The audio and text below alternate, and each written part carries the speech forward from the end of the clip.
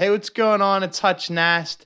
The cryptocurrency platform Voyager has filed Chapter 11 bankruptcy after a fall of Luna Terra and a deal gone wrong with 3AC.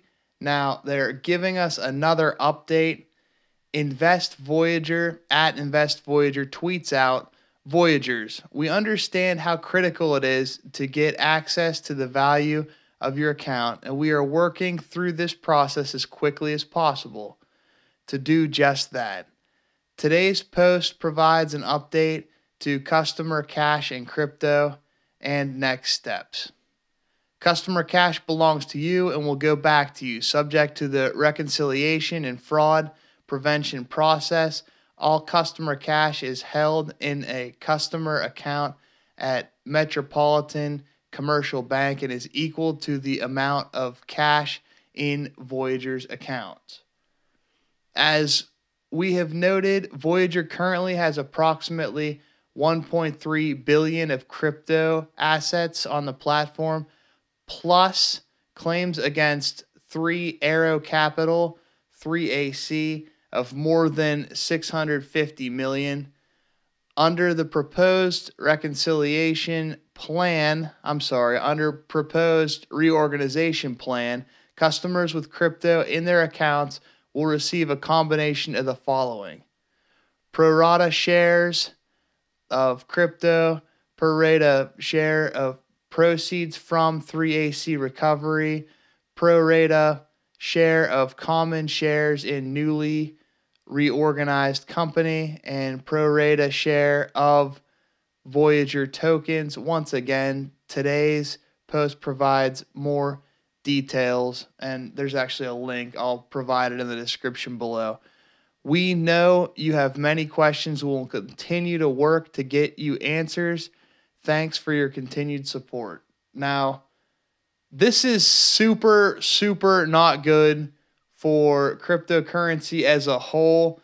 It's not good for the community, and it's especially not good for the three and a half million users of Voyager. So if if it's just if they're gonna just split up the proceeds or um, whatever they can recoup from 3AC, then really you're looking at you're looking at like a class action.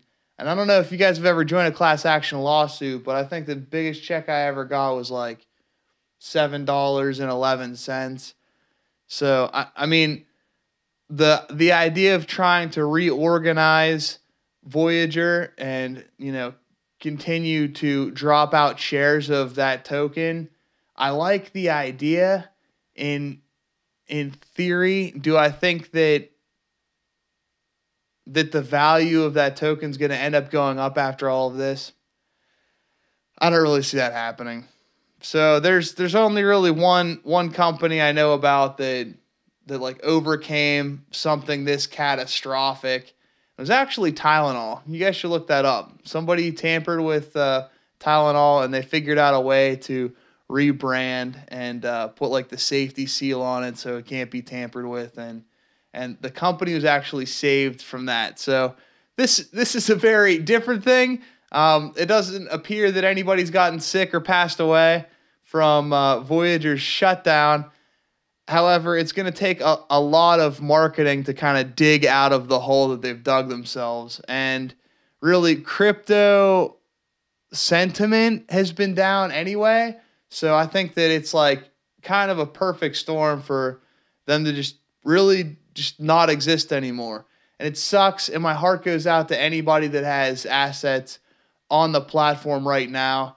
I I personally don't, but I know that I would be sick over it. So I, I hope that they continue to make the right decisions and maybe they're able to turn this ship around. If you like this video, I'll actually link a couple more videos on Voyager in the description below. This has been Hutch Nast, and I'll see you in the next one.